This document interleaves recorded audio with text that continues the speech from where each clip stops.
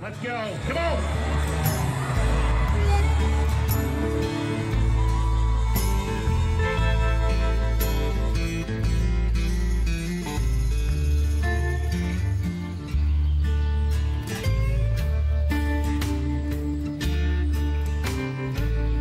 Im Bundesstaat Montana im Norden der USA wird der Cowboy-Mythos geboren.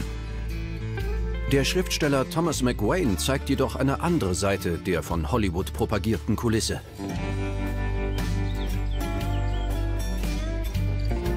In seinem Erzählband Crow Fair beschreibt er in 17 Szenen das Leben in der Provinz.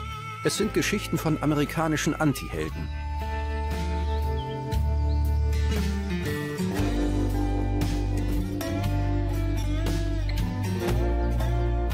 Thomas McWayne, der Tschechow und Flaubert liebt, dekonstruiert das vor Männlichkeit strotzende Western-Image.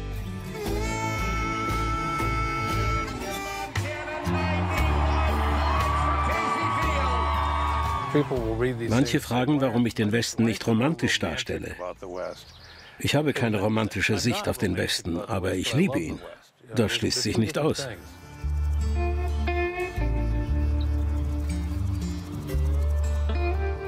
Thomas McWayne schreibt ein Dutzend Romane. Mit viel schwarzem Humor entführt er uns in Road-Movie-Manier auf die chaotischen Straßen von Montana.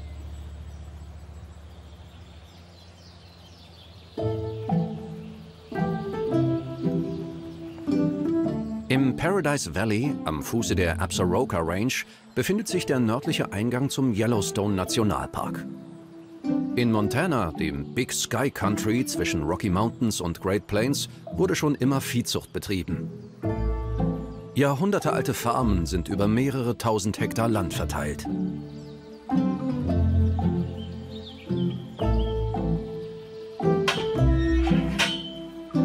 Der 82-jährige Thomas McWayne lebt heute in der kleinen Gemeinde McLeod.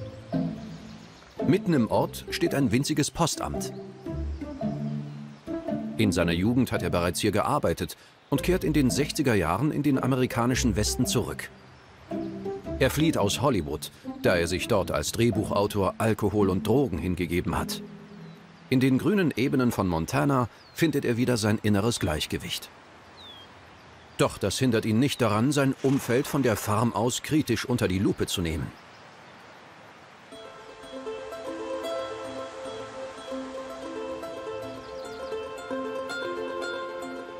In seinem 2015 erschienenen Erzählband Crow Fair rückt er die riesigen Farmen, die einst Amerikas ganzer Stolz waren, in ein nüchtern reales Licht.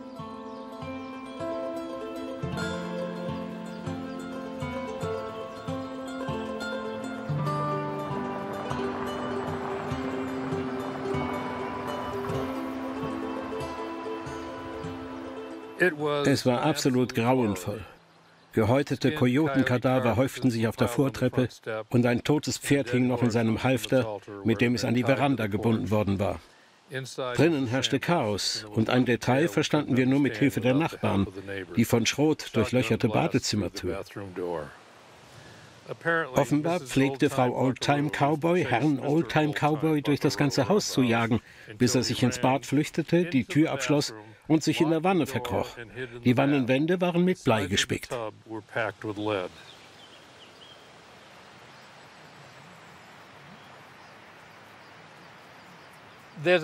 Es ist heutzutage schwierig, eine Ranch zu erwerben, da das Land über ein Erbsystem weitergegeben wird.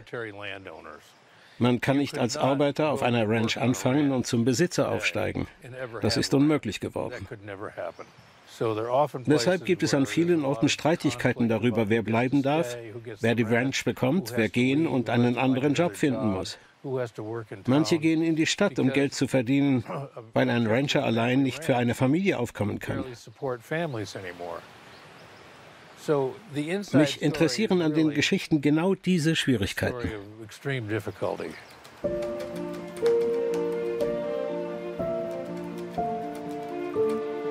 In Thomas McWaynes Texten löst sich der Mythos des Wilden Westens allmählich auf.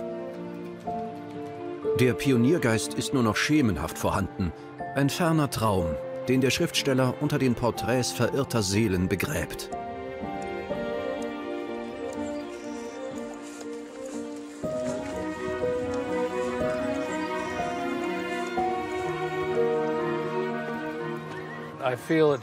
Meiner Ansicht nach wurde Montana von den Schriftstellern größtenteils verkannt. Die meisten Autoren stellen es verzerrt dar. Zum Beispiel sind überhaupt nur 5% der Bevölkerung in Montana Rancher. Die Leute, über die man in diesen Büchern liest, sieht man also im wahren Leben meist gar nicht.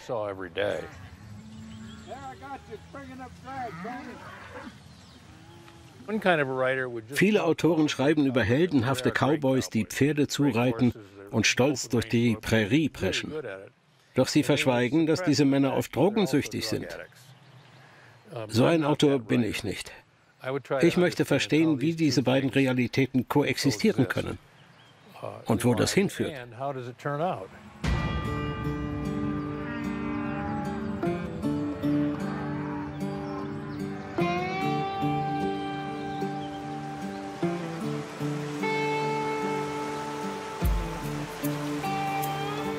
Etwa 30 Kilometer weiter westlich liegt Livingston.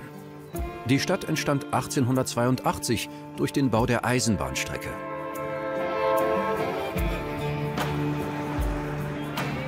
Die Hauptstraße und die roten Backsteinbauten haben sich seither kaum verändert. Nur fahren heute Pickups durch diese Western-Kulisse.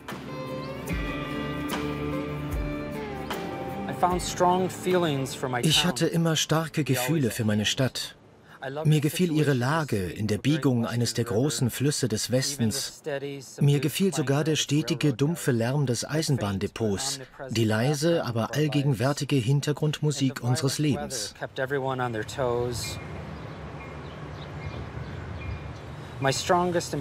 Die stärksten Eindrücke haben sich mir in der Sommerzeit eingeprägt, wenn sich mein Leben draußen abspielte und die hohen Wolkentürme mir als Burgen dienten.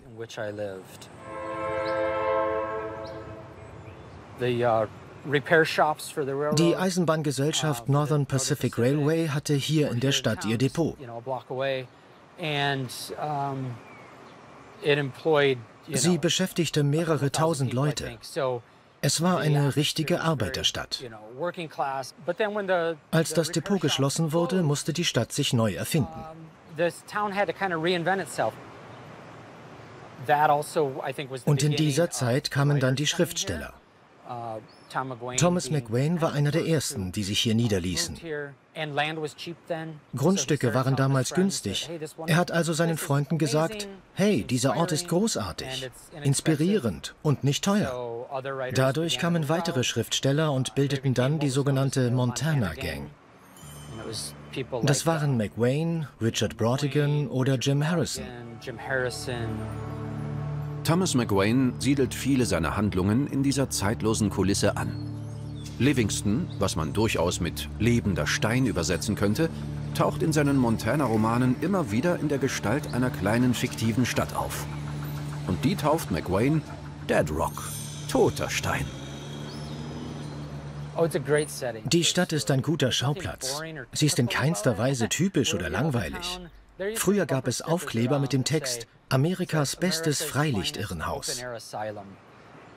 Denn hier leben einfach viele wunderbar exzentrische und interessante Menschen. Livingston verdankt seine Beliebtheit der Nähe zum Yellowstone Nationalpark und seinem altmodischen Charme. Im Stadtzentrum erinnern noch viele Gebäude an die Blütezeit des Wilden Westens. In der Bar des legendären Murray Hotel haben sich mythische Gestalten wie Buffalo Bill und Calamity Jane herumgetrieben.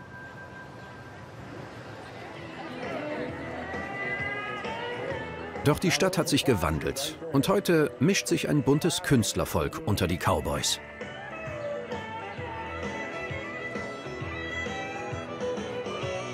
Wenn McWayne über Livingston schreibt, wird die Stadt zu einer Persönlichkeit. Facettenreich, schrullig, verstört und widersprüchlich, so wie die Menschen. Das gibt der Erzählung Tiefe und Lebendigkeit. Wenn man seine Bücher liest, hat man das Gefühl, seit Jahren in dieser Stadt zu leben.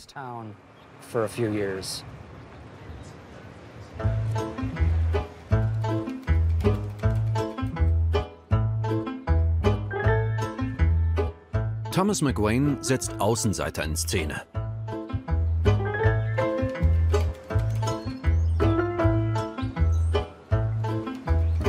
Die verirrten Seelen von Livingston finden ein offenes Ohr bei Dr. Pickett, dem Protagonisten des Romans Driving on the Rim.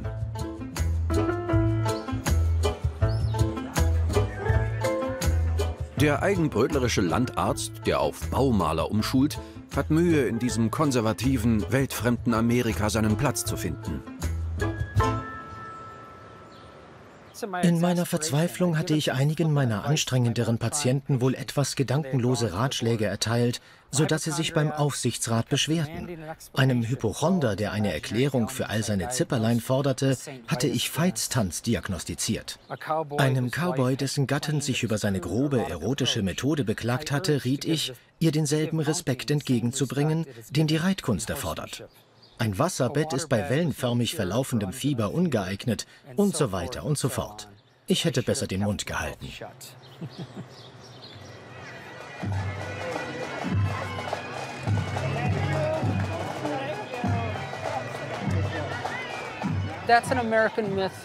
Es ist ein Mythos, dass Amerika ein gelobtes Land sei, wo jeder reich und erfolgreich sein kann. Das ist der berühmte American Dream. Wenn du nur hart arbeitest, dann hast du Erfolg. Aber das war schon immer eine Lüge. McWayne sagt uns ganz unverblümt die Wahrheit. Denn es gibt keine Garantie dafür, glücklich und erfolgreich zu sein. Im Gegenteil. Es ist viel wahrscheinlicher, dass das Leben hart und voller Mühen ist. Vermutlich wirst du arm sein und vermutlich verlierst du dein Land an ein Großunternehmen. Aber wer darüber lachen kann, der wird es überleben. Thomas McWayne liefert einen nüchternen Blick auf das Landleben in diesem Teil von Amerika. Wenn im Sommer der Nationalfeiertag näher rückt, wird hier das Sternenbanner hoch in Ehren gehalten. McWaynes Protagonist flüchtet vor dem Trubel und zieht sich in die Natur zurück.